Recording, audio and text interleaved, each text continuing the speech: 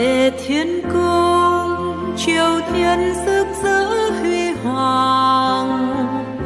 Mẹ về thiên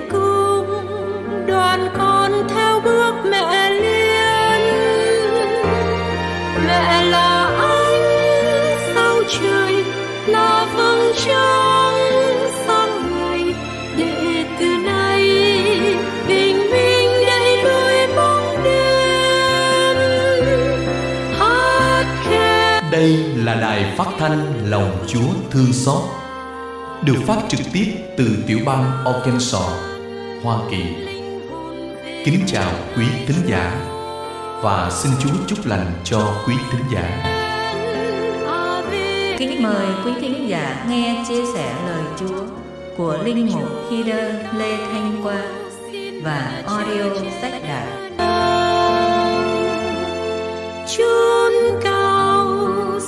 Xin mẹ chờ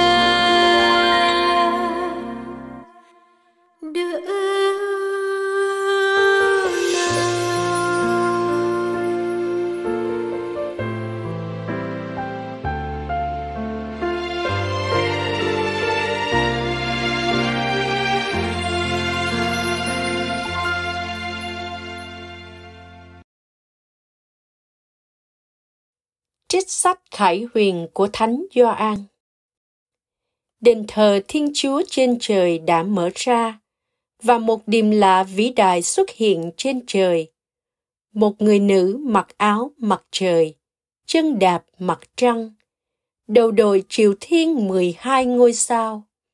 Bà đang mang thai, kêu la chuyện bụng và đau đớn sinh con lại một điềm lạ khác xuất hiện trên trời. Một con rồng đỏ khổng lồ, có bảy đầu, mười sừng, và trên bảy đầu, đội bảy triều thiên. Đuôi nó kéo đi một phần ba tinh tú trên trời mà ném xuống đất. Con rồng đứng trước mặt người nữ sắp sinh con, để khi bà sinh con ra, thì nuốt lấy đứa trẻ bà sinh được một con trai, đấng sẽ dùng roi sắt mà cai trị muôn dân. Con bà được mang về cùng Thiên Chúa, đến tận ngai của người. Còn bà thì trốn lên rừng vắng. Ở đó, bà được Thiên Chúa dọn sẵn cho một nơi. Và tôi nghe có tiếng lớn trên trời phán rằng, Nay sự cứu độ, quyền năng, vương quyền của Thiên Chúa chúng ta và uy quyền của Đức Kitô của người đã được thực hiện. Đó là lời Chúa.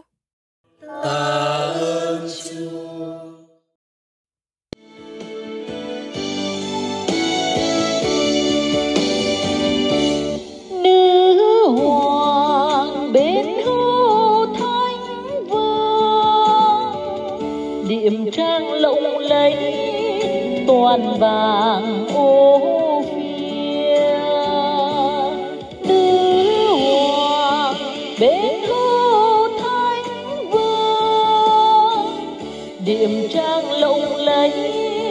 toàn vàng, ô phía. Hàng cung nữ, có những vị công chúa. Để hưu ngài hoàng hậu sánh vai. Trang điểm vàng, ô phía lộng lẫy.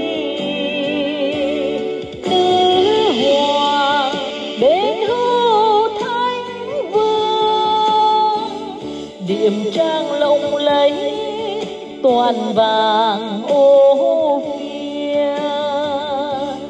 Tốn nương hơi, xin hãy nghe nào. Đưa mắt nhìn và hãy lắng tai.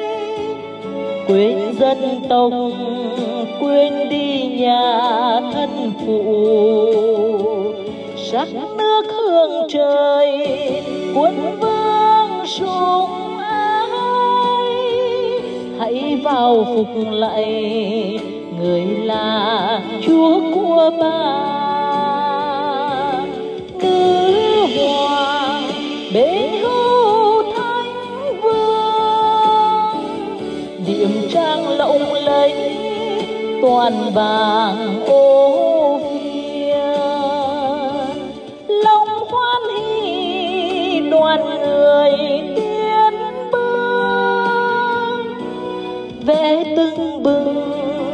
vào tận hoàng cung.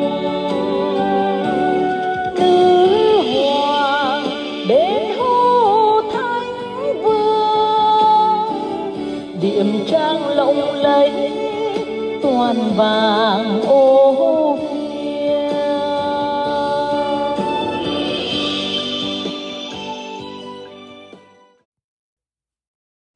Trích thư thứ nhất của Thánh Phaolô Tông Đồ gửi tín hữu Corinto.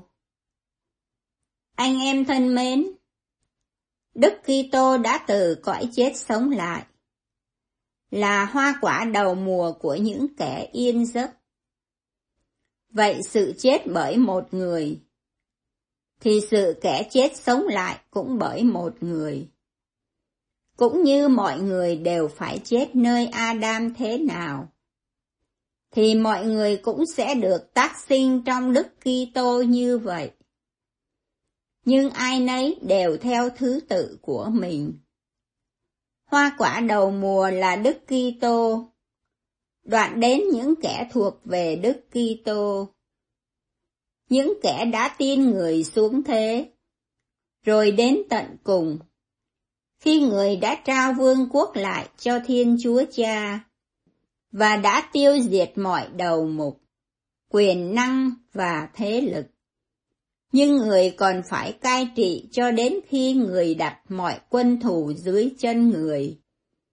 Kẻ thù cuối cùng sẽ bị tiêu diệt là sự chết. Bởi người đã bắt mọi sự quy phục dưới chân người. Đó là lời Chúa. Tạ ơn Chúa.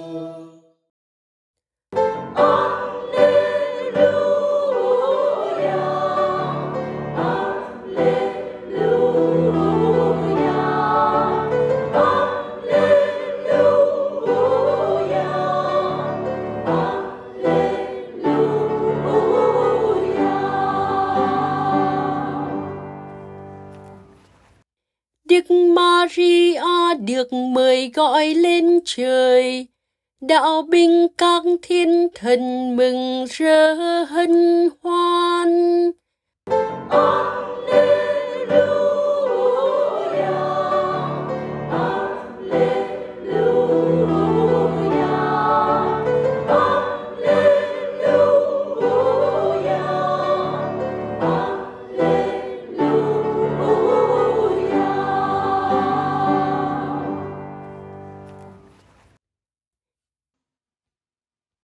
Chúa ở cùng anh chị em.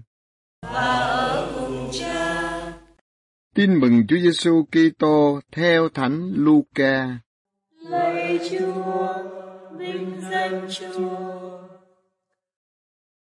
Trong những ngày ấy, Maria trỗi dậy, vội vã ra đi lên miền núi, đến một thành xứ Judea. Bà vào nhà ông Zakaria và chào bà Elizabeth. Và khi bà Elizabeth nghe lời chào của Maria, thì hài nhi nhảy mừng trong lòng bà. Và bà Elizabeth được đầy Chúa Thánh Thần, bà kêu lớn tiếng rằng, Bà được chúc phúc giữa các người phụ nữ, và con lòng bà được chúc phúc. Bởi đâu tôi được mẹ Chúa tôi đến viếng thăm. Vì này, tai tôi vừa nghe lời bà chào, Hài Nhi liền nhảy mừng trong lòng tôi. Phúc cho bà là kẻ đã tin rằng lời Chúa phán cùng bà sẽ được thực hiện. Và Maria nói, Linh hồn tôi ngợi khen Chúa, và thần trí tôi hoan hỷ trong Thiên Chúa, đấng cứu độ tôi. Vì Chúa đã đói nhìn đến phần hèn tớ nữ của Chúa. Này, từ nay muôn thế hệ sẽ khen tôi có phước, vì đấng toàn năng đã làm cho tôi những sự trọng đại, và danh Ngài là Thánh. Lòng thương xót Chúa trải qua đời nọ đến đời kia, dành cho những người kính sợ Chúa. Chúa đã vung cánh tay ra oai thần lực, dẹp tan những ai thần trí kiêu căng. Chúa lật đổ người quyền thế xuống khỏi ngai vàng và nâng cao những người phận nhỏ. Chúa đã cho người đói khát no đầy ơn phước và để người giàu có trở về tay không. Chúa săn sóc Israel tôi tới Chúa, bởi nhớ lại lòng thương xót của Ngài. Như Chúa đã phán cùng các tổ phụ chúng tôi, cho Abraham và dòng dõi người đến muôn đời. Maria ở lại với bà Elizabeth độ ba tháng, đoạn người trở về nhà mình. Đó là lời Chúa. Lạy Chúa Kitô, ngợi khen Chúa.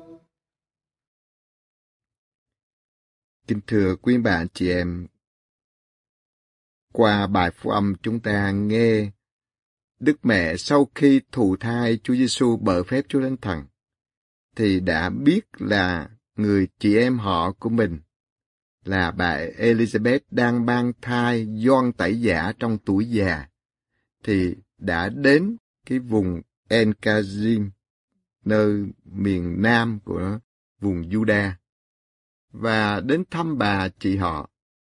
Chúng ta nghe cái lời đối đáp của hai chị em được đầy tràn thánh thần của Chúa, mẹ Maria, thụ thai Chúa Giêsu bởi phép Chúa Thánh Thần, và mẹ là bạn tình chí ái của Chúa Thánh Thần. Ở đây, bà Elizabeth cũng được đầy Chúa Thánh Thần, cho nên bà nhận ra ngay lập tức, bởi đâu tôi được mẹ Chúa tôi đến viếng thăm. Bà Elizabeth là người đầu tiên gọi mẹ Maria là mẹ của Chúa tôi, và cái tước hiệu Maria mẹ Thiên Chúa đã được bà Elizabeth chào đầu tiên. Và bà nhận ra mẹ Maria là người phụ nữ được chúc phúc giữa các người phụ nữ. Và con lòng bà được chúc phúc bởi vì con lòng của bà là con Thiên Chúa Cha, là Chúa Giêsu Kitô đã xuống thế làm người và chọn một người mẹ.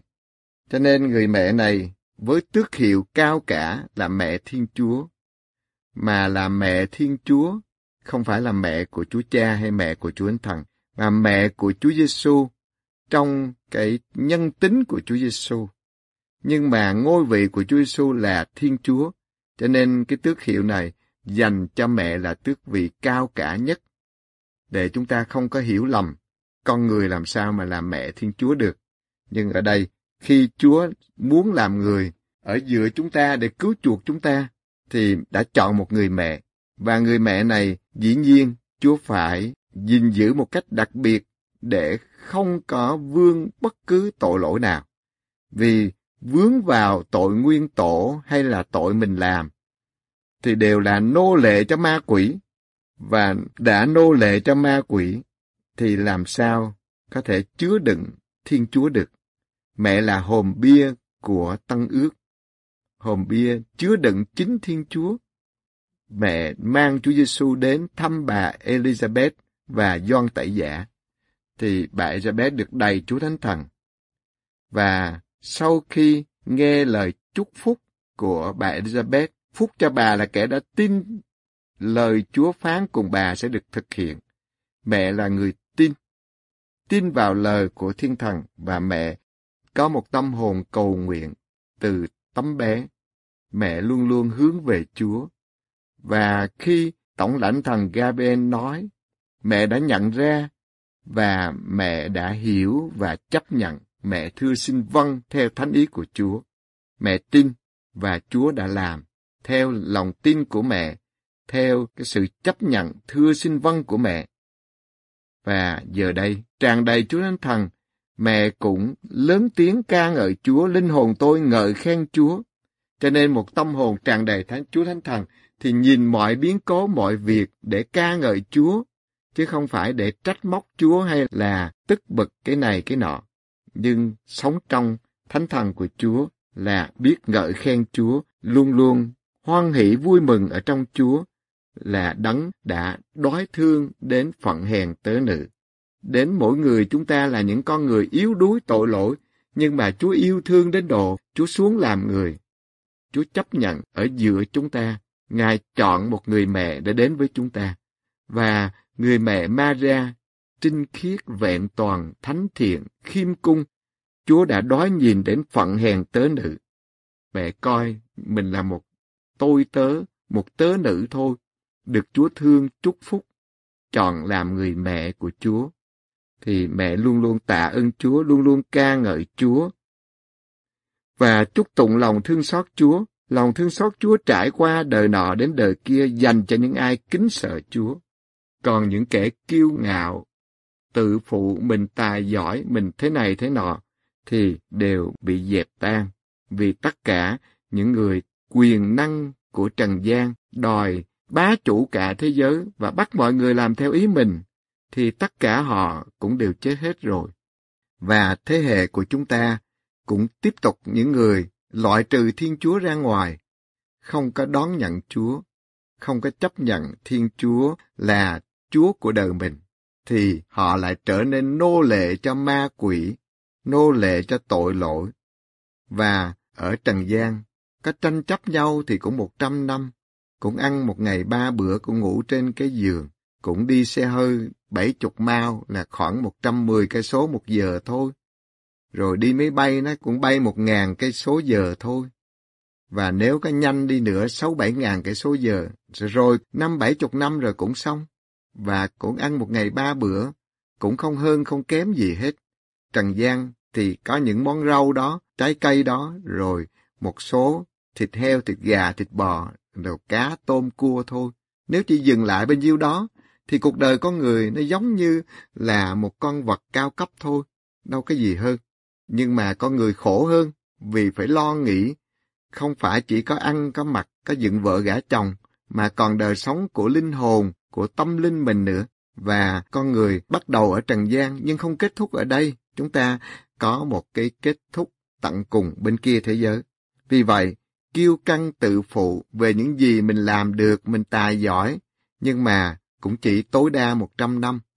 Sau đó, mình không đạt tới cùng đích của đời mình, thì những cái kiêu căng, những cái tài giỏi của mình đối với Trần gian là khen tặng đó, nhưng mà nó là gì khi chúng ta nhắm mắt?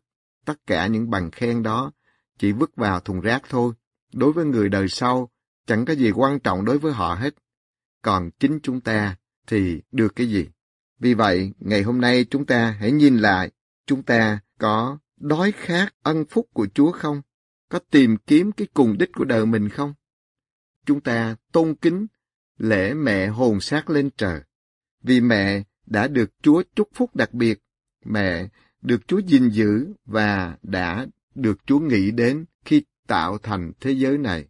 Trước khi mọi người được xuất hiện, thì Chúa đã nghĩ tới người con của Chúa, Chúa Giêsu Kitô sẽ đến làm người ở giữa nhân loại. Chúa đã tạo ra một hình ảnh tốt lành, hoàn hảo và một người mẹ Chúa đã thấy trước rồi và Chúa Cha đã có một cái kế hoạch rồi để cho Chúa Giêsu sẽ xuống thế làm người và sẽ chọn một người mẹ trong sạch, tinh khiết, vẹn toàn như thế nào. Và sau đó mới tạo dựng Adam Eva theo hình ảnh của Chúa, theo hình ảnh của Chúa Giêsu sẽ xuất hiện trên trần gian. Và Chúa đã có kế hoạch từ đời đời rồi. Chúa Cha đã thấy trước, đã biết tất cả rồi. Vì vậy, chúng ta biết qua những gì Chúa mặc khải cho chúng ta qua kinh thánh, qua truyền thống của hội thánh, cũng như qua những lời mà chị đáng kính Sơ Marie Agreda ở Tây Ban Nha, thời thế kỷ 17, đã được mẹ Mạc Khải cho biết về đời sống mà Chúa đã có kế hoạch cho mẹ. Ở đây chúng ta biết là sau cuộc sống trần gian với bao nhiêu là những cái chuẩn bị của Chúa để các thiên thần gìn giữ bảo vệ mẹ, rồi chọn cho mẹ một người để làm mẹ là bà Anna và Joachim là hai người đặc biệt được Chúa chọn. Joachim từ Nazareth, còn bà Anna ở Bethlehem. Và ở cái tuổi đời, hai bên cách nhau 22 tuổi. do Kim 46, Anna 24. Kết hôn với nhau mà 20 năm chưa có con. Rồi cuối cùng Thiên Thần Chúa đã báo và trong cái tuổi lớn 44 tuổi bà Anna mới sinh được mẹ Maria. Và Chúa đã gìn giữ cho mẹ được ơn vô nhiễm nguyên tội ngay từ lúc thụ thai. Và ngày 8 tháng 9, mẹ đã được sinh ra. Và sau ba tuổi thì bà Anna đã gửi mẹ Maria tặng hiến cho Chúa tại đền thờ Jerusalem. Rồi sau đó, chỉ sáu tháng sau, ông Joachim đã mất ở trong tuổi già, cũng vào khoảng 70 tuổi. Rồi tới khi 12 tuổi thì bà Anna cũng mất. Cho nên mẹ bắt đầu mồ côi và nghe lời dặn của bà Anna, thì Đức Mẹ đã chờ đợi để cho Thượng Tế Simeon và người chăm sóc mẹ ở trong số các người tại Jerusalem trong đền thờ, cũng là cụ bà Anna đã lo cái duyên tình cho Đức Mẹ. Và cuối cùng đã chọn được Thánh Du Xe làm bạn của Đức Mẹ. Và cả hai đã tỏ lộ cho nhau biết là cả hai đã khấn giữ mình đồng trinh để sống hoàn toàn cho Chúa. Thì mẹ đã chia sẻ với Thánh Du Xe và cả Thánh Du Xe cũng đón nhận điều đó. Nhưng Chúa đã can thiệp, Tổng lãnh thần Mike đã đến để chọn Đức Mẹ làm mẹ của đấng cứu thế và mẹ đã thưa xin vâng. Mẹ là bạn tình chí ái của Chúa Thánh Thần để Chúa Thánh Thần tác tạo bào thai cho Đức Mẹ. Và Chúa Giêsu đã đến trong cái nhân tính của con người. Chúa Giêsu là Thiên Chúa đã mặc lấy nhân tính của con người và chọn một người mẹ. Sau khi mẹ thư xin vâng, rồi mẹ đã cùng với Thánh Giuse chăm sóc Chúa Giêsu cho tới khi Chúa Giêsu ra đi rao giảng tin mừng và chịu nạn chịu chết trên thập giá. Mẹ vẫn sống tiếp tục cái sứ mạng của mẹ mà Chúa Giêsu giao lại cho mẹ là mẹ tụ họp các tông đồ lại để cầu nguyện cho họ được tràn đầy Chúa Thánh Thần. Rồi đến kinh tin kính khi Chúa Giêsu về trời rồi, mẹ đã thúc giục các tông đồ cầu nguyện Chúa Thánh Thần và khi cầu nguyện với Chúa Thánh Thần thì Chúa Thánh Thần đã tác động mỗi người một lời kinh, một niềm tin và cuối cùng làm thành kinh tiên kính các tông đồ. Rồi chúng ta biết nhờ kinh tiên kính đó, các tông đồ đi khắp nơi vẫn giữ một lòng tin không có bị sai lạc từ nhóm này tới nhóm kia, thế hệ này qua thế hệ kia cho tới ngày hôm nay. Và trước khi về trời, chúng ta biết là Đức Mẹ đã được Chúa Giêsu trối lại cho Thánh Gioan chăm sóc.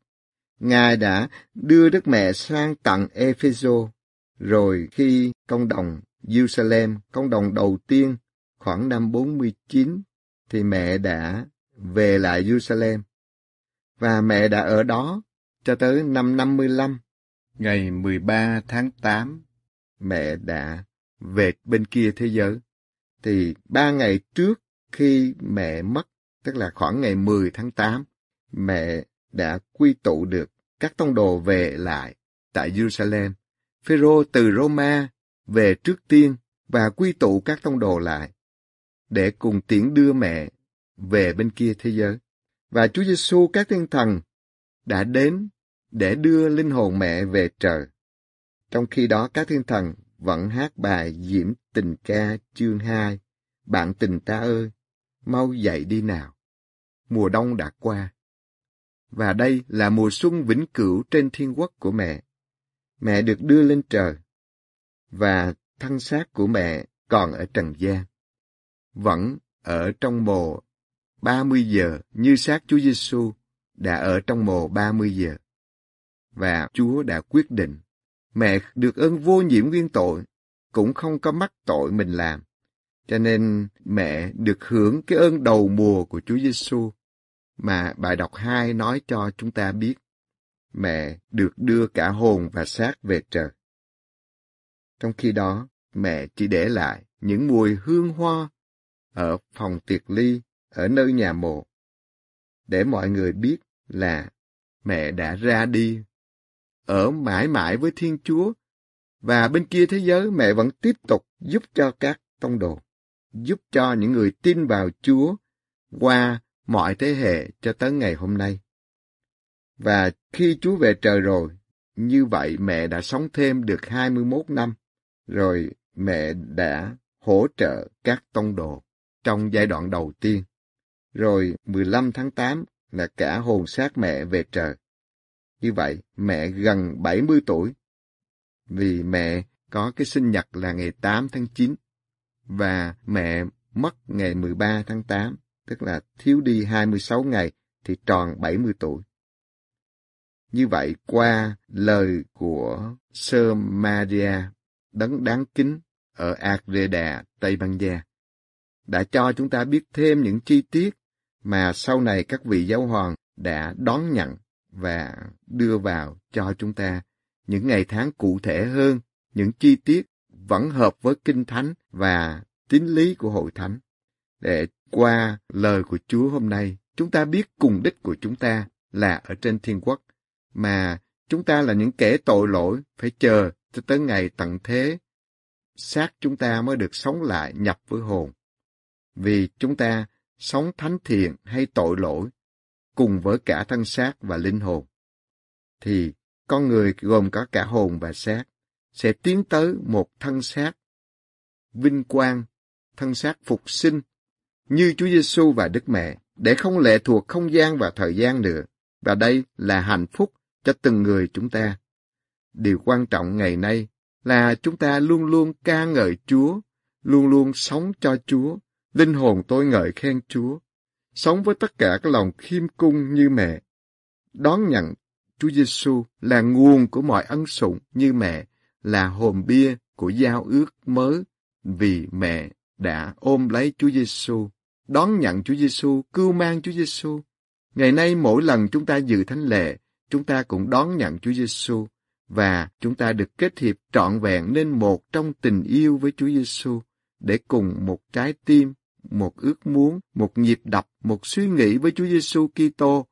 Và hoa quả đầu mùa là Chúa Giêsu, rồi đến những người thuộc về Chúa Giêsu, mẹ Maria trước tiên. Và đến từng người chúng ta cũng được hưởng ơn phục sinh này. Chúng ta hãy tạ ơn Chúa và xin mẹ cầu bầu cho chúng ta được ở mãi mãi bên Chúa trên thiên quốc mà ca ngợi Chúa muôn đời với mẹ. Amen.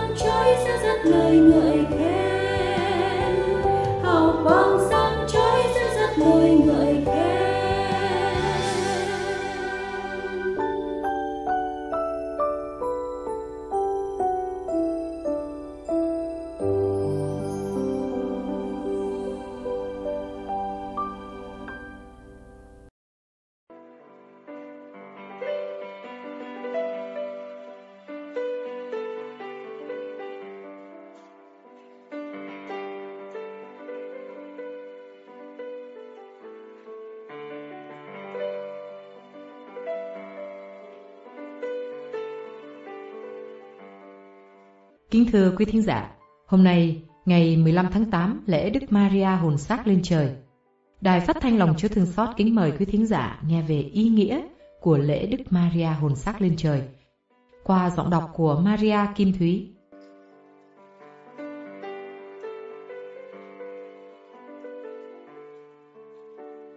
Việc kính trọng thể Đức Maria Theotokos, mẹ Thiên Chúa, cử hành vào ngày 15 tháng 8 đã được chỉ định rõ rệt trong một sách bài đọc miền Gregorian, thế kỷ thứ 8.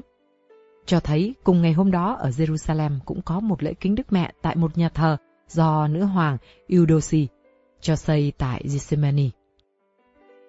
Lễ Đức Mẹ ngủ Domitio mà Hoàng đế Maurice khoảng năm 602 cho thực hành trong thế kỷ thứ sáu khắp đế quốc Roma đã được cử hành ở Roma trong thế kỷ thứ bảy dưới tước hiệu Đức Mẹ An Nghỉ Pausatio cùng với một số lễ khác về Đức Mẹ như lễ dâng con vào đền thánh, lễ truyền tin, lễ sinh nhật Đức Mẹ. Còn lễ Mẹ Thiên Chúa thì cử hành ngày 1 tháng 1. Sách ghi, người đã chịu cảnh chết tạm thời nhưng không bị khuất phục bởi xiềng xích sự chết. Thánh lễ đã thực sự trọng thể nhờ một cuộc kiệu đêm từ nhà thờ Saint Andrian au Forum đến đền Đức Bà Cả. Một đêm canh thức, một ngày chay. Đến thế kỷ thứ 8 có thêm tuần bát nhật. Chỉ từ thế kỷ thứ 13 mới có tên là Đức Mẹ lên trời trong sách phụng vụ bí tích Gregorian. Việc tin tưởng Đức Mẹ hồn xác lên trời đã có từ lâu đời trong hội thánh. Và hàng năm nhiều nơi đã mừng kính lễ này với nhiều tên gọi khác nhau như lễ Đức Mẹ ăn giấc, Đức Mẹ chuyển biến, sinh nhật trên trời của Đức Mẹ, hay Đức Mẹ được nâng lên trời. Đặc biệt sau công đồng chung Epheso năm 431, lễ Đức Mẹ An Giấc được mừng kính khắp nơi trong giáo hội Đông Phương. Còn trong giáo hội Tây Phương thì từ thế kỷ thứ bảy mới bắt đầu mừng lễ này. Kinh Thánh im lặng về những ngày sau hết của cuộc đời mẹ Chúa. Sau lời chối Chúa Giêsu trao mẹ cho Gioan thì từ giờ đó môn đệ này đã lãnh nhận mẹ Chúa về nhà mình. Trích Gioan chương 19 câu 27. Sách công vụ nói đến việc Maria, mẹ Chúa Giêsu cùng các môn đệ đồng tâm nhất trí cầu nguyện. Trích sách Công vụ Tông Đồ, chương 1, câu 11, để nhận lãnh Chúa Thánh Thần. Chúa Giêsu về trời, mẹ cũng rút vào âm thầm cầu nguyện và suy niệm những kỷ niệm đã ghi trong lòng. Trích Luca, chương 2 câu 51. Mẹ không còn xuất hiện, để các tông đồ lãnh nhận sứ mệnh của mình trước mặt thế gian như Chúa đã truyền. Các con sẽ chịu lấy quyền năng của Chúa Thánh Thần rồi sẽ đi làm chứng cho thầy. Trích sách công vụ tông đồ chương 1 câu 8. Nhưng mẹ vẫn hiện diện giữa cộng đoàn tông đồ để khích lệ, tinh thần và đồng thời cũng giúp lời cầu nguyện cho các ngài. Vì mẹ bao giờ cũng coi mình như là nữ tỷ thiên chúa. Sau khi Thánh Giacôbê bị vua Herode giết vào năm 42, thì Jerusalem không còn là nơi an toàn nữa. Mẹ lui về sống ở Epheso với Thánh Gioan.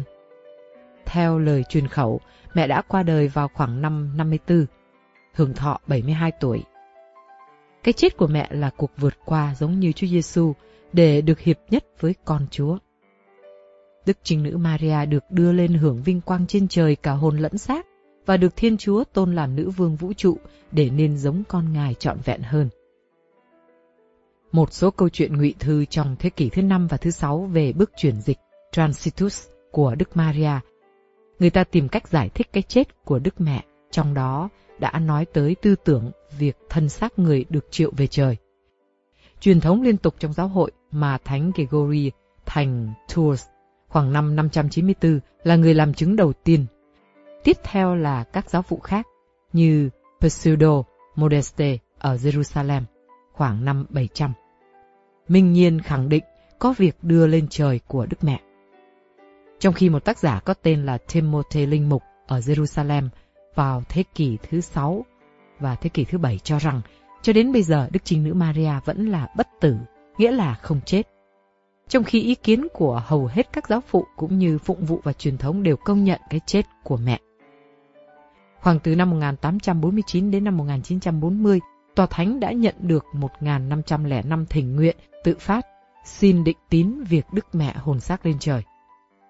Ngay trong công đồng Vaticano thứ nhất, gần 200 nghị phụ cũng xin định tín. Sau Thế chiến thứ hai từ năm 1945 đến năm 1950, một lần nữa 852 thỉnh nguyện thư từ các giám mục, các bề trên dòng, các đại học công giáo, các nhà thần học của 30 quốc gia cũng đã gửi các thỉnh nguyện tập thể tới Đức Thánh Cha. Ngày 1 tháng 5 năm 1946, Đức Pio thứ 12 đã gửi cho mọi giám mục một lá thư. Xin các ngài trả lời cho câu hỏi sau đây. Theo sự khôn ngoan chín chắn của Đức Cha, Đức Cha có ý kiến gì về việc Đức Maria hồn xác lên trời được đề ra và xác quyết như một tín điều hay không? Đức Cha với hàng giáo sĩ và dân chúng có muốn điều đó hay không? Đã có 1.191 thư trả lời, trong đó 1.169 thư ưng thuận, 16 thư nghi ngại về tính cách hợp thời của việc tuyên bố tín điều. 6 thư đưa ra những vấn nạn ngược lại. Tất cả giám mục của 17 giáo hội Đông Phương hợp nhất với Tòa Thánh Roma trả lời ưng thuận. Ngày 30 tháng 10 năm 1950 đã có một hội nghị công khai với 700 vị trong hàng giáo phẩm tham dự. Đức Thánh Cha Pio thứ 12 lại hỏi ý kiến. Tất cả các vị đều trả lời ưng thuận. Như thế là đã có một sự đồng ý theo luật của các giám mục. Sự đồng ý này bày tỏ rõ ràng của giáo huấn thông thường hợp với tín điều công giáo. Đến ngày 1 tháng 11 năm 1950, qua hiến chế Munificentissimus Deus, Đức Giáo hoàng Pio thứ 12 đã long trọng tuyên bố tín điều Đức Maria đồng trinh hồn xác về trời. Ngài công bố chân lý đức tin như sau. Đức Maria vô nhiễm chọn đời đồng trinh, mẹ Thiên Chúa, sau cuộc sống trần gian đã được cất nhắc cả hồn và xác về vinh quang trên trời, vì đã có một liên hệ mật thiết giữa hồn xác lên trời với sự thụ thai vô nhiễm và muôn đời đồng trinh của Đức Maria. Vậy mẹ toàn thắng tội lỗi và đáng được lên trời hồn xác. Việc lên trời hồn xác của mẹ cũng liên hệ với chức vụ làm mẹ Thiên Chúa. Mẹ đã không bao giờ làm hư hại sự toàn vẹn xác thể, nên xác thân mẹ không hề hư hoại. Hơn nữa, mẹ đã được cứu chuộc hoàn toàn, nên hiệu quả của ơn cứu rỗi là sự tôn vinh của con, thì mẹ cũng được hưởng. Trích sách Roma, chương 8 câu 29 đến 30 và thư thứ hai của Corinto, chương 5 câu 2 đến câu 5. Đức Giáo Hoàng xác quyết các thánh giáo phụ và các bậc đại tiến sĩ khi giảng và nói với giáo dân trong ngày lễ thánh mẫu hồn xác lên trời vẫn nói về điều đó như là một chân lý đã được giáo dân biết và chấp nhận rồi. Các ngài đã giải thích cho rõ hơn, đào sâu ý nghĩa và tầm quan trọng, và nhất là nổi bật lên rằng lễ này không những kính nhớ việc thân xác Đức Trinh Nữ Maria sau khi chết không chịu hư nát chút nào mà còn nhắc đến việc Ngài toàn thắng sự chết, được vinh hiển trên trời. Theo gương con một Ngài là Đức Giêsu Kitô. Tất cả lập luận và suy niệm trên đây của các giáo phụ đều dựa trên Kinh Thánh, như là nền tảng cuối cùng, mà Kinh Thánh lại như đặt trước mặt ta một người mẹ Thiên Chúa kết hợp rất mật thiết với con mình và luôn luôn chia sẻ tất cả thân phận của người. Thế nên, Đức Thánh Mẫu cao cả, ngay từ đời đời và do cùng một quyết định tiền định, đã được kết hợp với Đức Giêsu Kitô một cách huyền nhiệm khi cưu mang người trong cung lòng đồng trinh vẹn sạch của mẹ. Mẹ cộng tác quảng đại với đấng cứ thế, đấng đã chiến thắng hoàn toàn tội lỗi và các hiệu quả của nó, thì cuối cùng để kết thúc mọi đặc ân, Đức Trinh Nữ cũng đã được giữ gìn khỏi bị hư nát ở trong mồ để nên giống con mình. Sau khi chiến thắng sự chết, Ngài cũng được đưa lên vinh quang trên trời cả hồn lẫn xác, nơi Ngài được sáng láng làm nữ vương ngự bên hữu con mình là vua bất tử của mọi thời. Lễ mông triệu ngày 15 tháng 8, ngày Đức Maria đầy ơn Chúa, đầy hạnh phúc, hồn vô nhiễm và xác trinh trong của mẹ được vinh hiển. Ngày mẹ được giống Chúa phục sinh cách hoàn toàn nhất. Lễ này làm giáo hội và nhân loại thấy được hình ảnh hy vọng cuối cùng của chính mình là tất cả những ai gặp Chúa Kitô và thông phần máu thịt với người sẽ được hoàn toàn vinh quang. Trích sách Do Thái chương 2 câu 14 Marialis Cultus Lời nguyện lễ vọng lấy từ sách các phép giáo hoàng thế kỷ thứ 8 của Đức Gregory. Nhấn mạnh đây là liên đới giữa việc Đức Mẹ được triệu về trời với tính cách mẹ Thiên Chúa của người.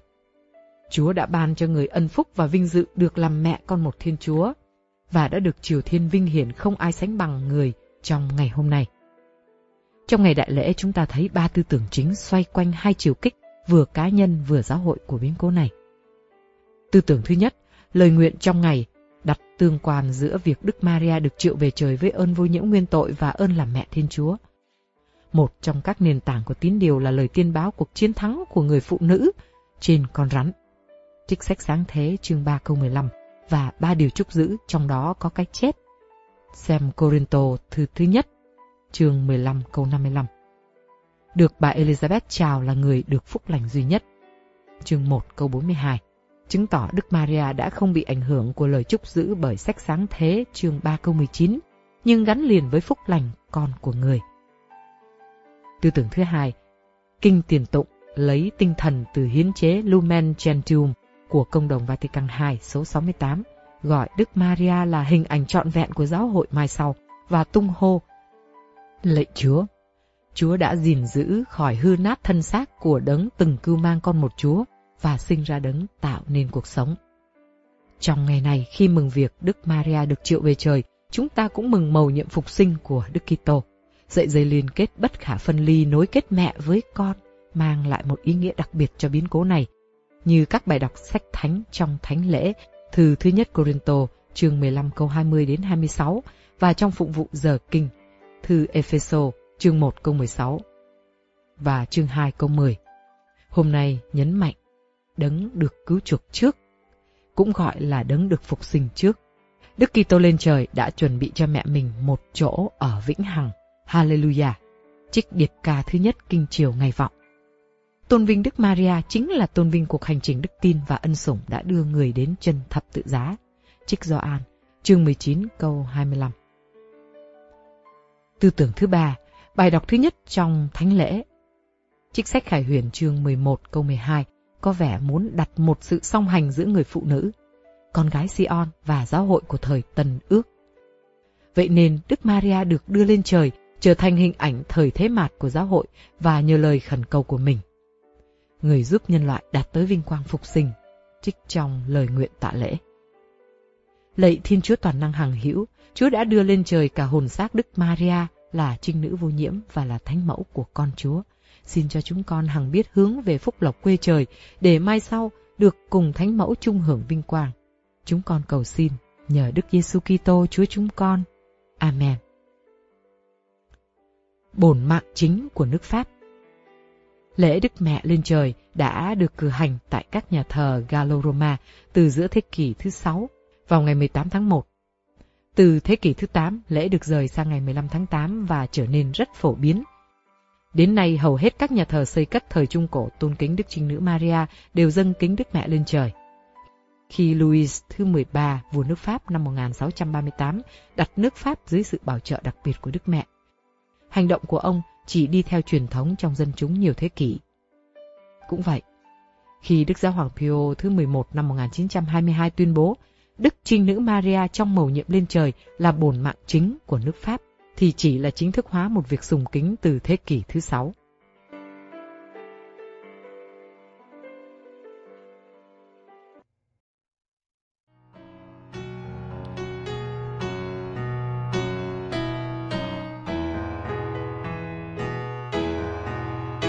Trần hoàn, hòa vang tiếng ca. Mừng mẹ Maria,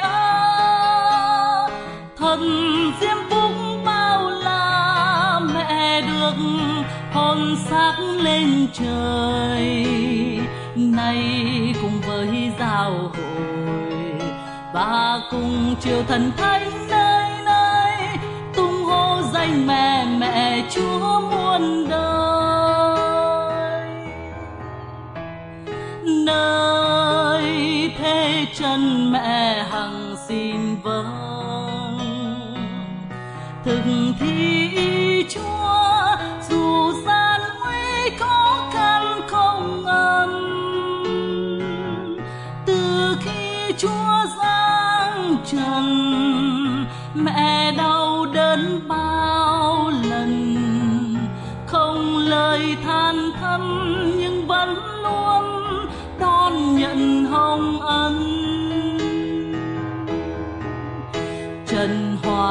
hòa vang tiếng ca.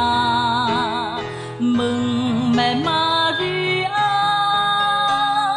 thật diêm phúc bao la. Mẹ được hồn xác lên trời, nay cùng với giáo hội, ta cùng chiều thần thánh nơi nơi, tung hô danh mẹ mẹ chúa muôn đời.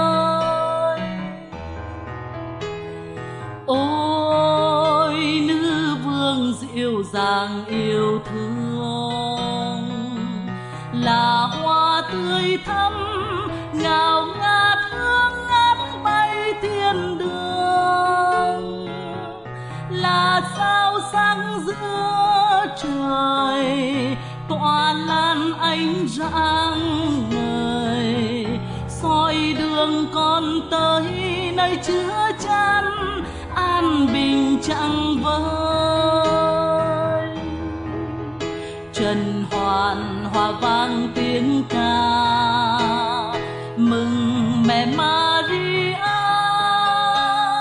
Thật diêm phúc bao la. Mẹ được hồn xác lên trời.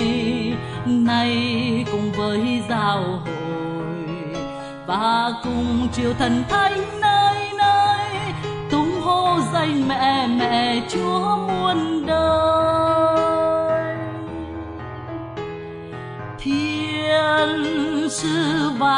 Muôn lời hỷ hoan.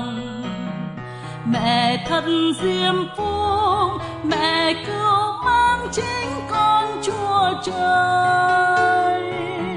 Từ nay đến muôn đời, và nhân thế bao người, không ngừng ngợi khen và hát vang mẹ thật vinh hoàn hòa vang tiếng ca. Mừng mẹ Maria thập diêm phúc bao la. Mẹ được hồn xác lên trời, nay cùng với giao hội và cùng triều thần thánh nơi nơi, tung hô danh mẹ mẹ chúa muôn đời trần hoàn, hòa vang tiếng ca. Mừng mẹ Maria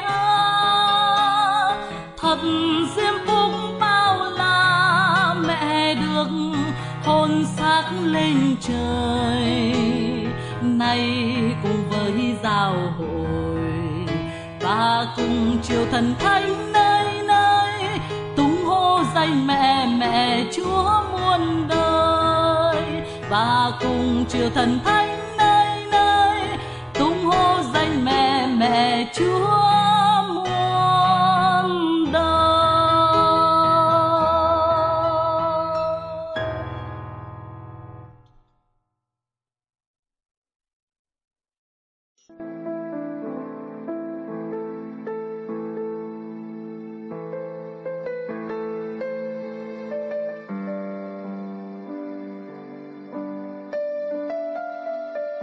Kính thưa quý ông bà và anh chị em tín hữu công giáo. Mẹ Fatima, nữ vương mân côi, kêu gọi mọi người hãy năng lần hạt mân côi và ăn năn sám hối. Để đáp lời mời gọi của mẹ, Hội Mân Côi và Hội Hiệp sĩ Fatima tha thiết kính mời các anh chị em tín hữu ghi tên gia nhập hội. Muốn biết thêm chi tiết, xin vào website radioltxc.org và muốn ghi danh gia nhập hội, xin gọi cho ông Simon Lê Văn Trương. Số điện thoại 805 815 1581 hoặc email simonle 131 at gmail.com Xin Chúa và mẹ Maria chúc lành cho quý ông bà và anh chị em.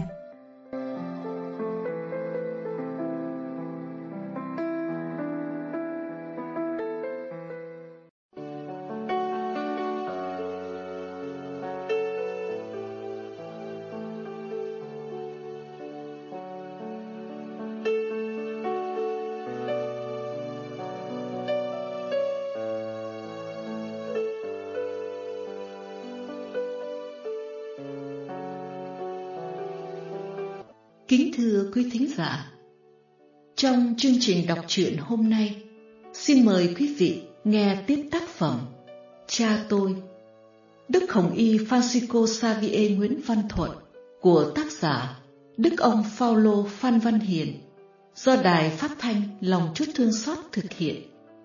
Qua giọng đọc của Cecilia Vân Yên, Paulo Kinh Quyền và Anna Thúy An.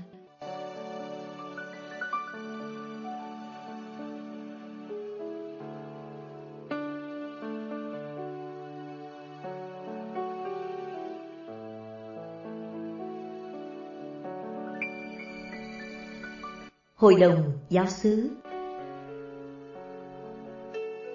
Sau khi thăm viếng tất cả các giáo xứ, Ngài thấy được những việc ưu tiên cần phải làm để giúp người giáo dân sống đạo một cách tích cực hơn, giúp họ khám phá ra họ không phải là thành phần thụ hưởng, chỉ biết lãnh nhận giáo lý, lãnh nhận bí tích, lãnh nhận ơn Chúa, nhưng họ cũng là thành phần hoạt động tông đồ. Trích đường hy vọng số 481 Thời đại sau cộng đồng Vatican II với tinh thần của hiến chế, vui mừng và hy vọng, trở thành thời đại giáo dân. Vì thế, bao lâu chưa động viên được toàn lực dân chúa ý thức và hành động, các tầng lớp xã hội này chưa thể thấm nhuần phúc âm được.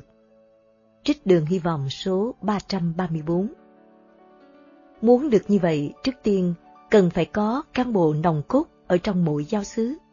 Và hội đồng giáo xứ là đơn vị đầu tiên cần phải được huấn luyện để giúp linh mục phát triển giáo xứ. Vì muốn canh tân hội thánh, trước hết phải canh tân gia đình. Đường hy vọng số 478 Ngày lễ hiện xuống năm 1968, Ngài công bố quy chế Hội đồng Giáo xứ và được áp dụng bắt đầu ngày lễ Đức Mẹ lên trời, ngày 15 tháng 8 cùng năm. Ngài đã viết như sau. Thư công bộ quý trẻ Hội đồng giáo xứ Kính gợi quỷ cha quỷ hội đồng giáo xứ Anh chị em thân mến Hội đồng giáo xứ là một tổ chức tông đồ giáo dân đặc biệt của Hội Thánh Việt Nam. Suốt ba thế kỷ nay, công nghiệp của Hội đồng giáo sứ đã ghi nhiều điểm vàng trong Việt Nam giáo sự. Nhưng trước những biến chuyển nhanh chóng của thời đại, việc tống đồ ngày càng gay go, các hội đồng giáo sứ không thể căn cứ vào tập quán, vào truyền khẩu, vào một vài cuốn chức sợ mục lệ, vừa hiểm hoi, vừa đáp ứng không được với nhu cầu hiện tại, tuy rất đầy đủ cho ngày trước.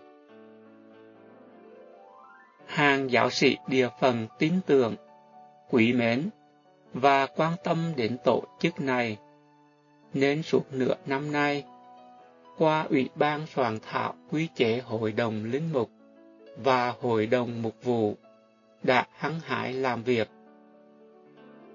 Sau khi nghe các linh mục, các giáo dân góp ý kiến, sau khi thảo xét kỹ càng sáu bản quy chế được đề nghị, Hội đồng đã đúc kết các điểm cần thiết thành bản quy chế cuối cùng này. Bản quy chế này giúp giáo dân ý thức trách nhiệm tông đồ theo đường lối công đồng Vatican II. Bản quy chế này vạch rõ đường lối, nhiệm vụ và quyền lợi của các nhân viên hội đồng. Bạc quy chế này phải được các nhân viên tìm hiểu, tra cứu và tuân giữ. Bản quy chế này sẽ được bổ túc bằng bản quy chế giáo dân. Trong đó, các chi tiết về nghĩa vụ người công giáo, công dân nước trời và nước trần thế cũng như sinh hoạt của sự đạo sẽ được quy định rõ ràng. Tôi chân thành cảm ơn Ủy ban soạn thảo, hai hội đồng linh mục và mục vụ, cũng như quý vị khác đã cộng tác đắc lực đưa đến kết quả tốt đẹp này. Tôi sung sướng cao vào tay các nhân viên hội đồng giáo sứ, bạn quý chế này. Mong sự hợp tác giữa giáo sĩ và các giáo dân ngày càng chặt chẽ trong tình phụ tử, trong thông cảm, trong kỷ luật. Tôi quyết định công bố bản quy chế này ngày lễ hiền xuống ngày 2 tháng 6 năm 1968. Áp dụng bản quy chế này, kể từ lễ Đức Mẹ lên trời, ngày 15 tháng 8 năm 1968. Các luật lệ và tập quán đã có trước, nghịch với bản quy chế này, đều được bãi bỏ. Bản quy chế này có hiệu lực 5 năm, sau đó sẽ bổ túc nếu cần. Nha Trang, ngày lễ hiền xuống, ngày 2 tháng 6 năm 1968. Francisco Xavier, Nguyễn Văn Thuận, Giám mục Bức thư này đã nói lên sự quan tâm tha thiết của Ngài trong lĩnh vực tông đồ giáo dân sau công đồng Vatican II. Điều này giúp hiểu được một phần nào tại sao Ngài chọn hiến chế, vui mừng và hy vọng làm khẩu hiệu giám mục của mình. Ngài viết, Thay vì chọn một câu trong Thánh Kinh làm khẩu hiệu, cha muốn có một cái gì mới mẻ. Và cuối cùng, cha lấy tên của một văn kiện công đồng làm khẩu hiệu Guardian Express, vì cha được làm giám mục chỉ một năm rưỡi sau công đồng.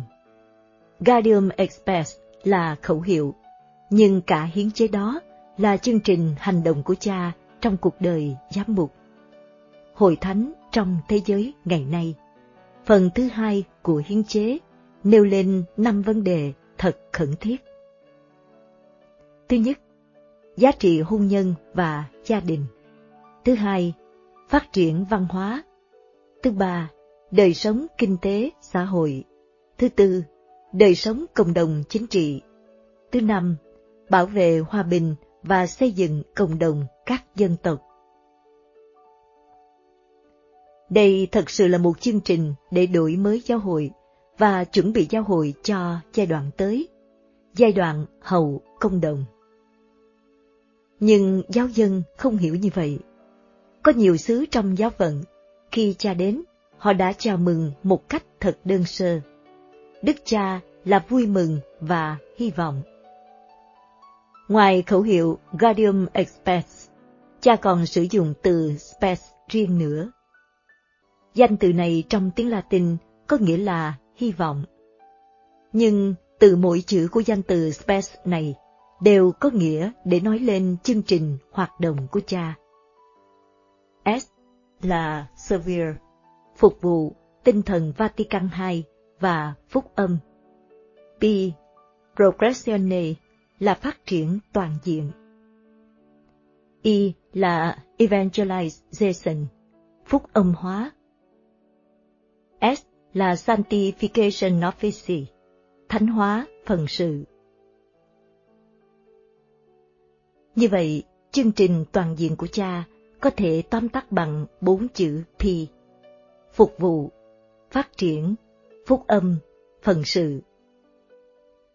Nếu mỗi người công giáo biết thánh hóa phần sự của mình ở giữa đời, biết sống phục vụ người khác, biết quan tâm tới việc phát triển và phúc âm hóa môi trường, thì chắc chắn xã hội và thế giới sẽ được thay đổi tốt hơn.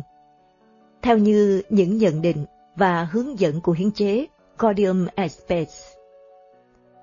Ngay cả huy hiệu giám mục, ngoài tính chất hồi nhập văn hóa, cũng nói lên tư tưởng định hướng trong đời sống thiên liêng và mục vụ của Ngài. Ngài giải thích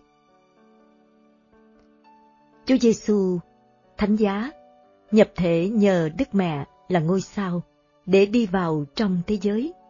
Hay nói cụ thể hơn, vào trong giang sơn Việt Nam, núi sông, nhờ ánh sáng của vui mừng và hy vọng soi dẫn là hai cây đuốc, có nghĩa là nhờ sống tinh thần của hiến chế Gaudium et Spes, công việc truyền giáo tại Việt Nam sẽ đạt được nhiều kết quả. Cây trúc biểu hiện sự trường tồn của đất nước Việt Nam. Tre tàn, măng mọc. Ngôi sao chỉ Đức Mẹ. Mẹ là ngôi sao sáng. Ngôi sao gồm năm cánh. Mỗi cánh là một chữ vi. Tất cả năm chữ vi của ngôi sao đã nói lên tinh thần và đường hướng hoạt động của cha. Via, Chúa Giêsu là đường. Veritas là sự thật. Vida là sự sống. Việt Nam là quê hương. Vatican II hướng dẫn của công đồng Vatican II. Nói tóm lại, Ngài muốn công việc truyền giáo đem tin mừng của Chúa Giêsu đấng là đường, là sự thật và là sự sống đến cho mọi người dân Việt bằng cách sống đúng tinh thần của hiến chế, giáo hội trong thế giới ngày nay. Tư tưởng định hướng này đã trở thành động lực hướng dẫn các hoạt động liên tục của Ngài trong suốt 8 năm điều hành giáo phận Nha Trang. Ngài ưu tiên việc huấn luyện cán bộ hội đồng giáo xứ để đẩy mạnh tinh thần sống đạo tại địa phương và giúp việc điều hành giáo xứ được thuần nhất với nhau trong toàn giáo phận. Sau ba năm hoạt động không ngừng, Ngài thành lập Hội đồng Giáo dân, gồm 1.200 cán bộ được bầu từ cấp giáo xứ, giáo hạt và giáo phận. Trước khi nhận nhiệm vụ, những người này được huấn luyện ba ngày để hiểu rõ mục đích, tinh thần và phương cách làm việc. Và hàng năm, họ được tham dự một ngày tĩnh tâm để hâm nóng hồn tông đồ. Ngài viết lại thao thức này trong cuốn Đường Hy vọng. Trong việc tông đồ, huấn luyện và lựa chọn những chiến sĩ tâm huyết là tối quan trọng. Trích đường hy vọng số 309 Quy chế giáo dân cũng được ban hành từ đó, như là một đường lối điều hành tổng quát, mở hướng đi cho giáo dân trong một thế giới ngày càng phức tạp. Về sau, quy chế này được sử dụng dưới hình thức chỉ nam dành cho giáo dân.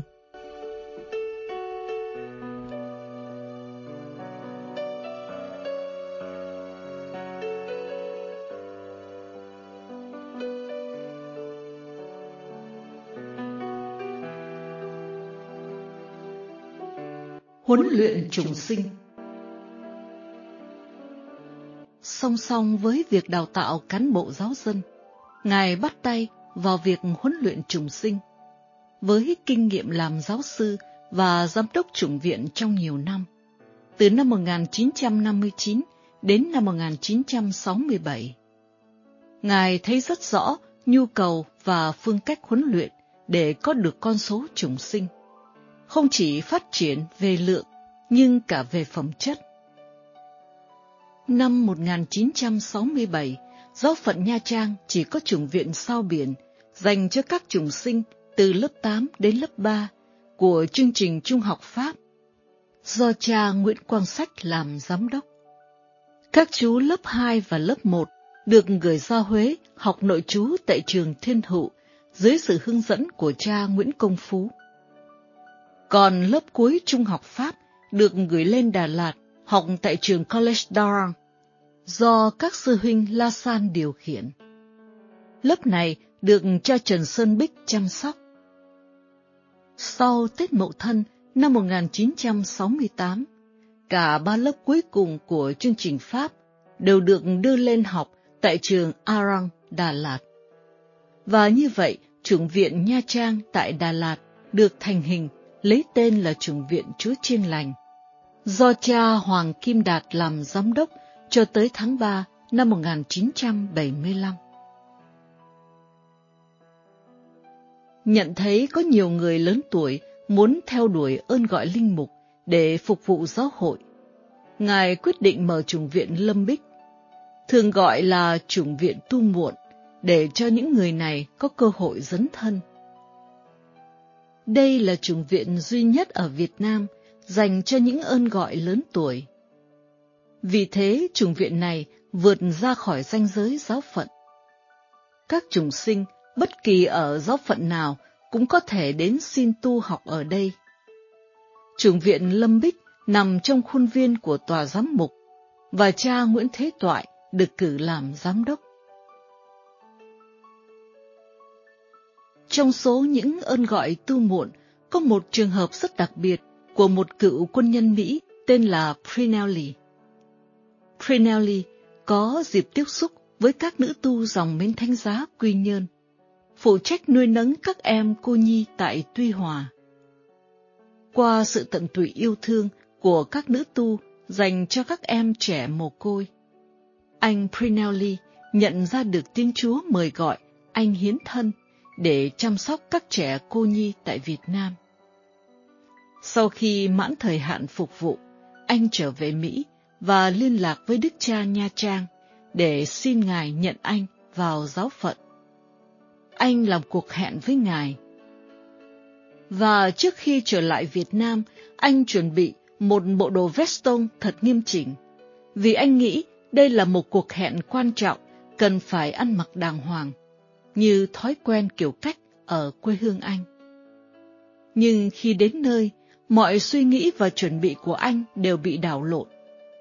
Ngay khi anh vừa đến và chưa kịp mặc bộ đồ veston vào, Đức Giám Mục đã vào tận phòng dành riêng cho anh và thăm hỏi chân tình như một người thân.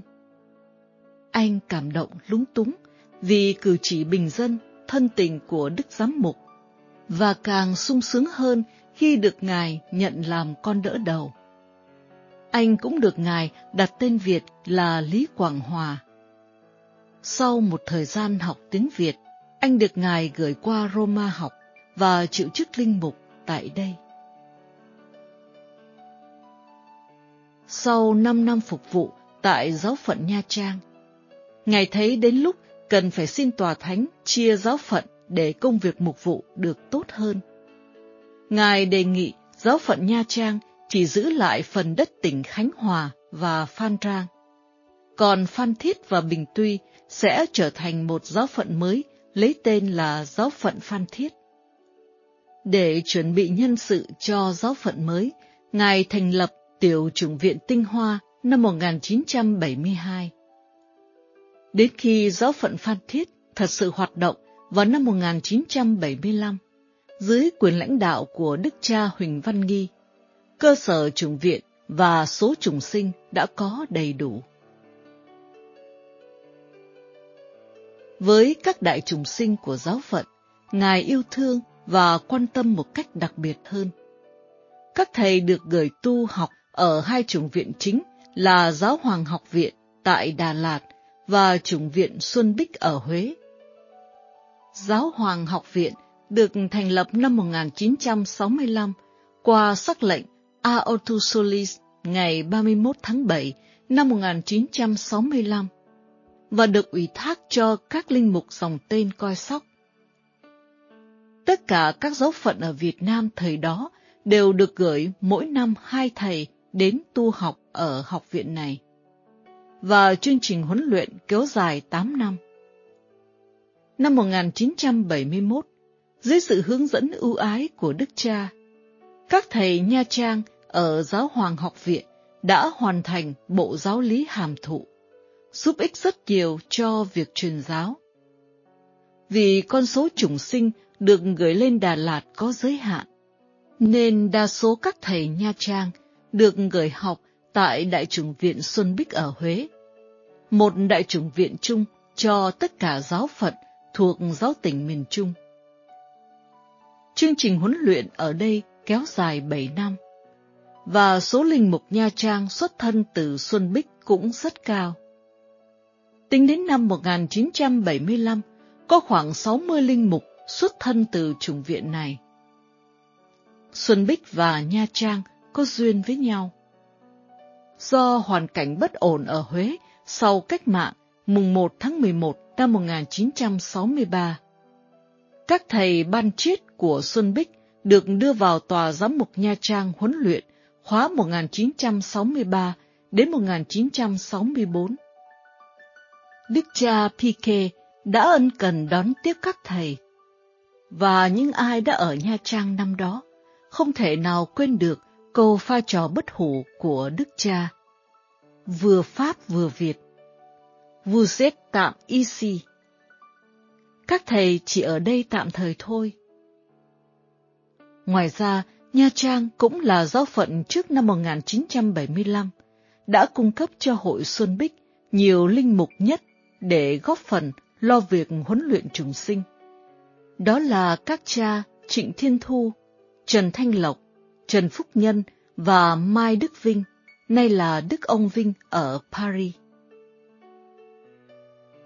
Dù bận rộn nhiều công việc, mỗi năm Ngài đều tìm dịp viếng thăm các chủng sinh của mình đang tu học ở hai đại chủng viện này.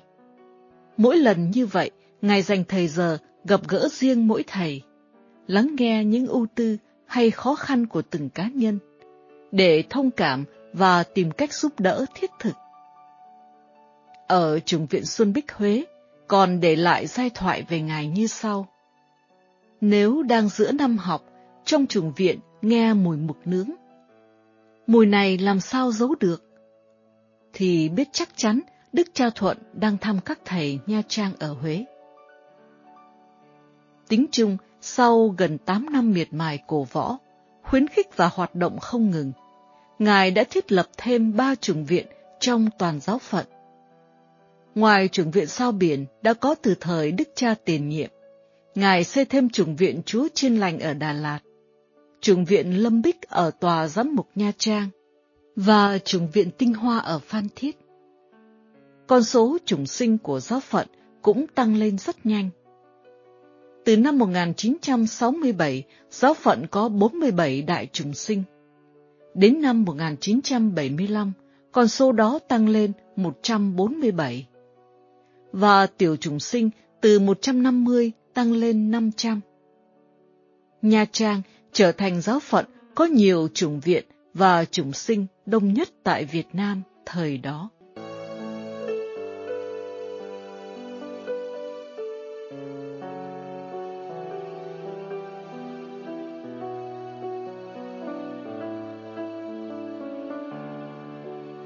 Huấn luyện linh mục tu sĩ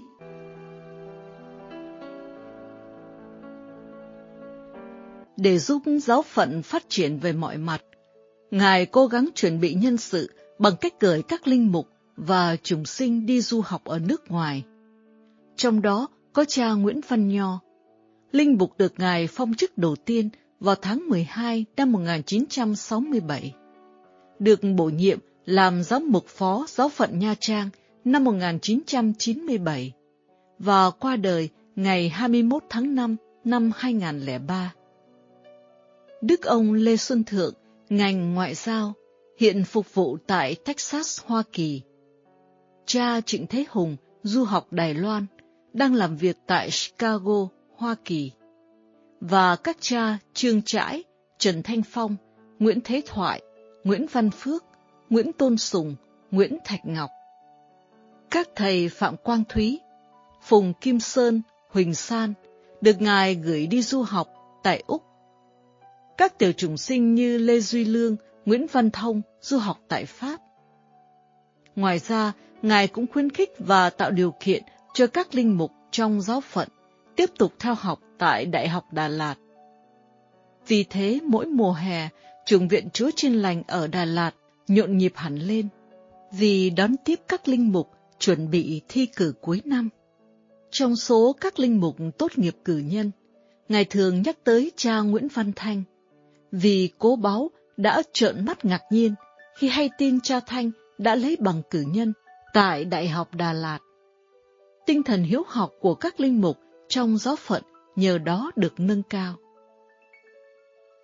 Tinh thần này còn được Ngài mở rộng cho tất cả các linh mục thuộc giáo tỉnh miền Trung, gồm 6 giáo phận, Huế, Đà Nẵng, Quy Nhơn, Con Tum, Buôn Ma Thuột và Nha Trang. Ngài gọi đây là những khóa tu nghiệp. nhằm giúp các linh mục hiểu biết thêm về những vấn đề mới mẻ, quan trọng liên quan tới giáo hội và thế giới. Qua những khóa tu nghiệp này, các linh mục trong giáo tỉnh còn được dịp quen biết nhau, chia sẻ và thông cảm những mối bận tâm trong công việc mục vụ của từng địa phương, để tìm cách nâng đỡ và hợp tác làm việc với nhau.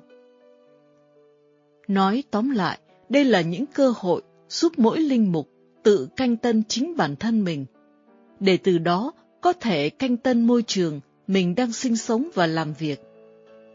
Ngài giải thích rõ hơn việc canh tân này nhằm thích nghi phúc âm với thế giới hôm nay.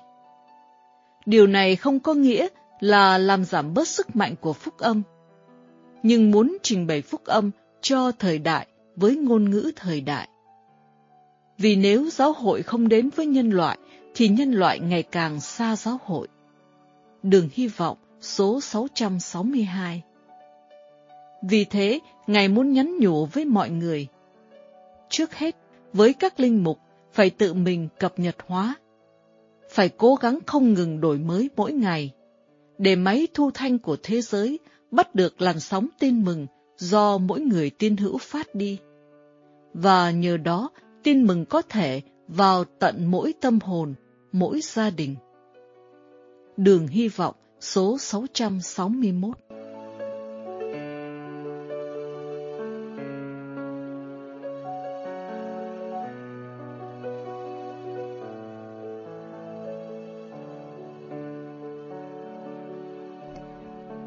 Canh tân dòng tu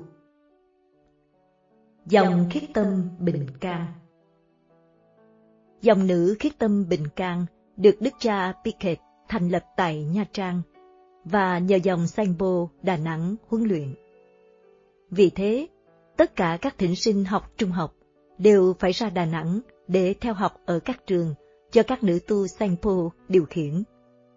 Và khi được chọn vào nhà tập, các tập sinh dòng khiết tâm cũng được huấn luyện chung với các tập sinh của dòng Sanpo tại đó. Năm 1967, Đức cha Francisco Xavier Nguyễn Văn Thuận đến Nha Trang kế vị Đức cha Piquet. Sau khi cầu nguyện, suy nghĩ và cân nhắc kỹ càng, Ngài nhận thấy đến lúc cần phải canh tân để phát triển và giữ tính cách độc lập của nhà dòng. Vì nếu được huấn luyện tại địa phương, nhiều ơn gọi sẽ có điều kiện để theo đuổi, và việc huấn luyện sẽ đáp ứng nhu cầu trong giáo phận một cách thực tế hơn. Trước hết, Ngài lập một nhà ở Đà Lạt cho các em thỉnh sinh đang học trung học, dưới sự điều khiển của chính các nữ tu khiết tâm. Một tập viện riêng cũng được hình thành trên đường Hùng Vương, Nha Trang, cũng do chính dòng khiết tâm phụ trách. Và đặc biệt hơn cả, với tâm hồn yêu mến quê hương, Ngài đề nghị chọn tên Việt Nam chung cho mỗi lớp nhà tập. Nhờ đó, người khác dễ nhận ra một nữ tu thuộc lớp nào và năm nào. Ngày trước, một nữ tu sau khi khấn được đặt lại tên bằng tiếng Tây do ảnh hưởng của các dòng người Pháp có mặt tại Việt Nam. Thật ra, việc thay đổi tên gọi các nữ tu dòng khiết tâm bằng tiếng Việt cũng đã gặp nhiều trở ngại trong thời gian đầu, nhất là từ phía các cô Tây. Ngài kể lại cuộc đối thoại giữa cô báu và nữ tu Gabriel đang giúp ở tòa giám mục như sau. Sơ tên gì? Dạ thưa cha, con tên là Thanh Trinh ạ. Cô báo liền nhún vai, hai tay đưa lên trời, miệng thổi phù một cái thật lớn và nói Không hiểu gì hết. Làm sơ Gabriel buồn rầu bỏ đi. Nhưng dần dần, kiểu đặt tên bằng tiếng Việt này đã được mọi người chấp nhận một cách thích thú. Hoạt động tông đồ của dòng khiết tâm cũng được Ngài mở rộng. Ngoài việc giúp mục vụ ở các giáo xứ, giờ đây các nữ tu còn phụ trách trường huấn nghệ, giúp cho các thiếu nữ nghèo có điều kiện học nghề may và phụ trách cư xá cho sinh viên như cư xá Chí Thiện tại Phước Hải. Đây là những môi trường mới mẻ nhằm mục đích phát triển và truyền giáo. Một số các nữ tu dòng khiết tâm Bình Can cũng được Ngài gửi đi du học ở nước ngoài, như chị Trần Minh Nguyệt tại Ý, chị Marie Anne Trang Nghiêm và Susan Trang Nghi ở Phi Luật Tân, chị Nguyễn Thị Minh Loan và Nguyễn Thị Hải ở Hồng Kông. Để chuẩn bị người đảm trách những công việc chính của nhà dòng hoặc đòi hỏi phải có chuyên môn. Ngoài ra, Ngài cũng khuyến khích và tạo điều kiện để các nữ tu có dịp tiếp tục đại học hay ngành nghề chuyên biệt, để có thể phục vụ tốt hơn, hiệu quả hơn, cũng như để đáp ứng những nhu cầu mới trong lĩnh vực hoạt động tông đồ. Sau nhiều năm cố gắng không ngừng, các nữ tu khiết tâm bình can có thể vui mừng nói được rằng nhà dòng của mình đúng là dòng giáo phận. Vì được huấn luyện tại giáo phận, được giám mục và các linh mục trong giáo phận nâng đỡ, giảng dạy, hướng dẫn, để rồi sẵn sàng phục vụ một cách cụ thể đắc lực, theo đường hướng mục vụ chung của toàn giáo phận.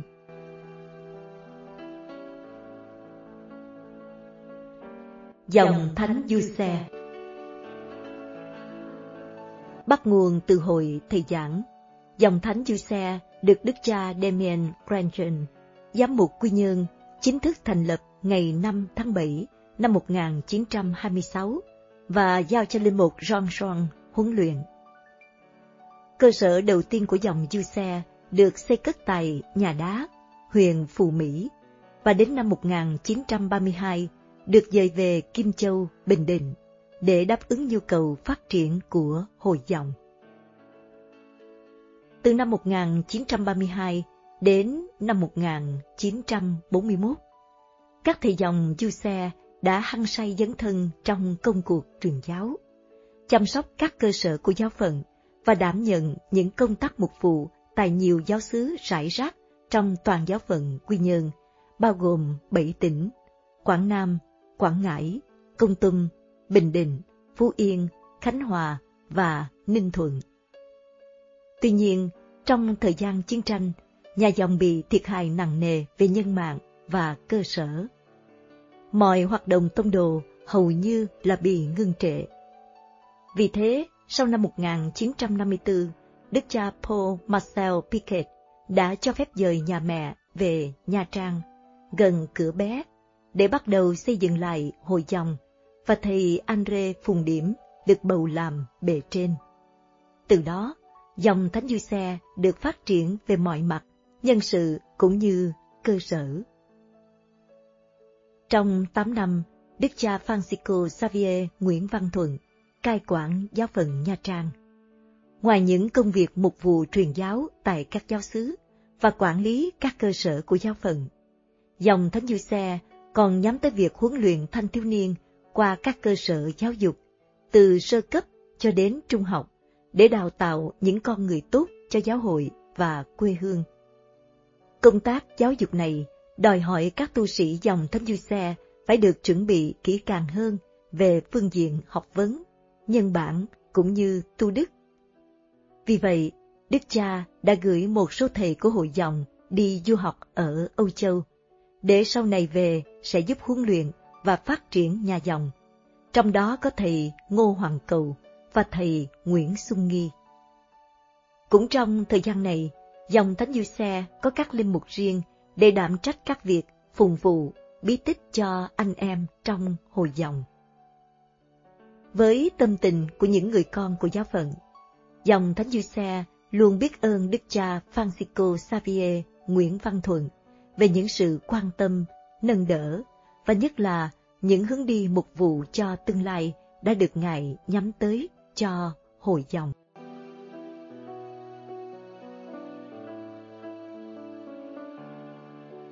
Dòng Mến Thánh Giá Tân Bình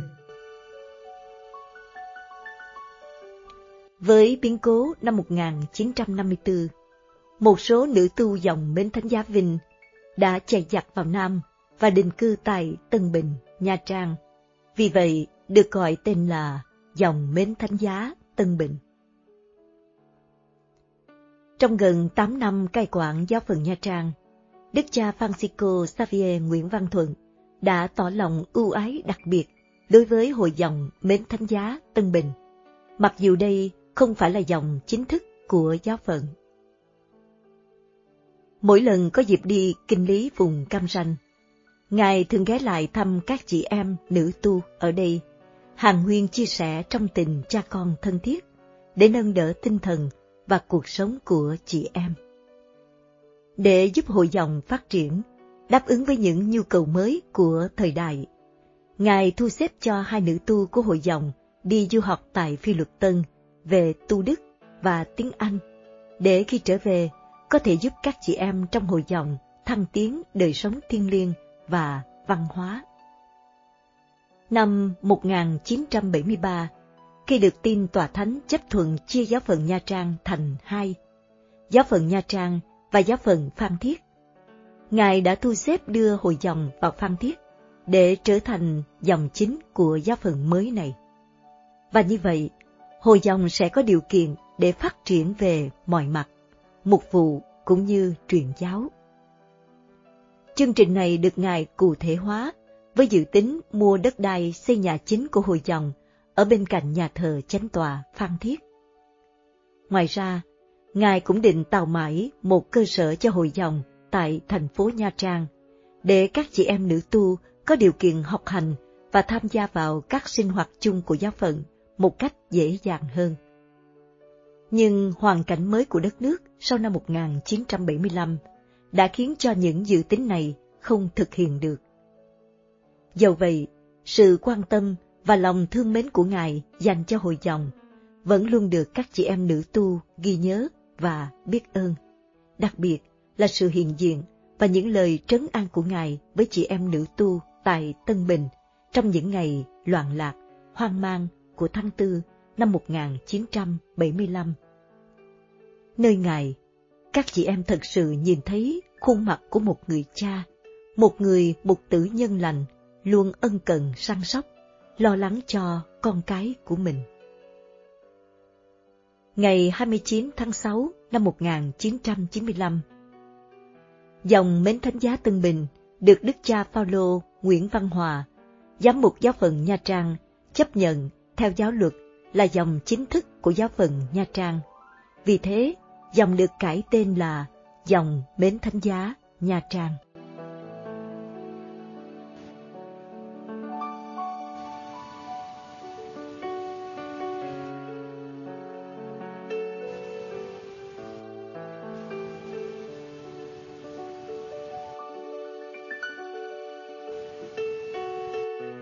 Kính thưa quý vị, chương trình đọc truyện xin được tạm dừng nơi đây.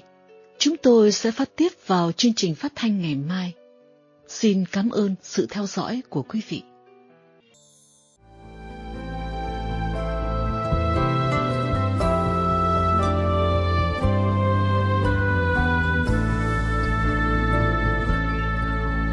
Khi con nhìn về muôn nơi, từ muôn chim thú mây trời, ngày đêm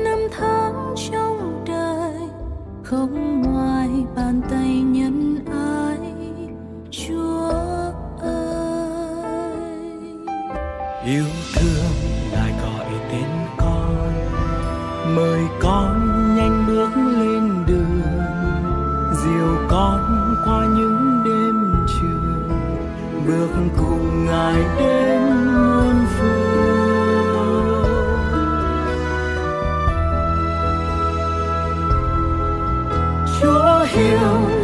Con chúa ơi mà sao chúa vẫn gọi mời bước vào cuộc đời nhân chứng, cho tình yêu chúa muôn nơi.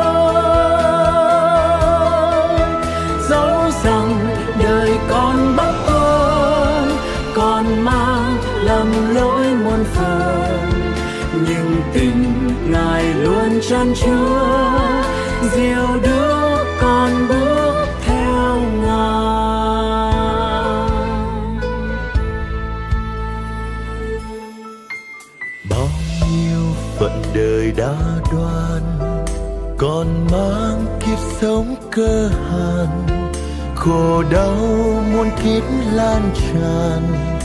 Lạc loài bàn chân đơn bước lang thang. Con đâu nào hiểu một mai gọi con đi dưỡng muôn loài. Sẽ chia ân thánh của ngài, sống cùng ngài đến tương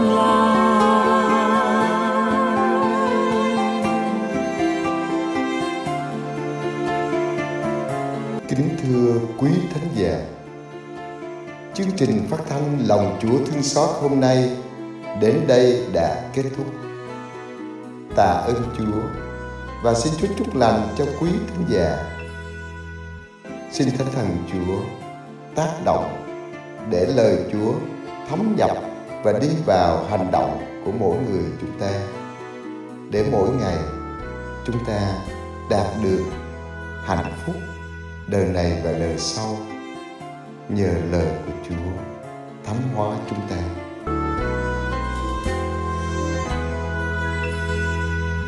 cho con tình ngài bao la, nhận muôn ân phúc tràn hòa dù con đôi lúc bất hòa, thân phận mong manh yêu đuối, ngã xa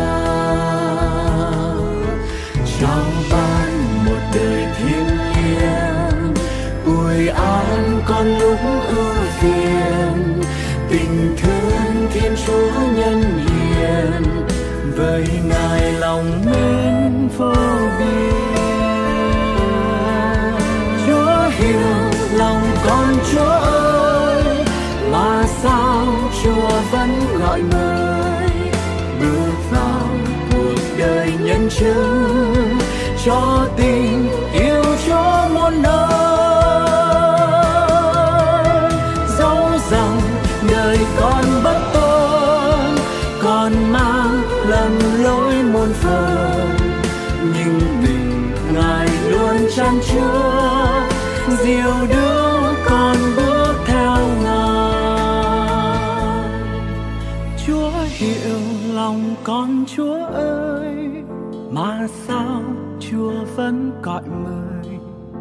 Bước vào cuộc đời nhân chứng, cho tình yêu Chúa muôn nơi. Dẫu rằng đời con bất tuân còn mang lầm lỗi muôn phần, nhưng tình ngài luôn chan chứa. Dìu đưa con bước theo ngài, nhưng tình ngài luôn chan chứa.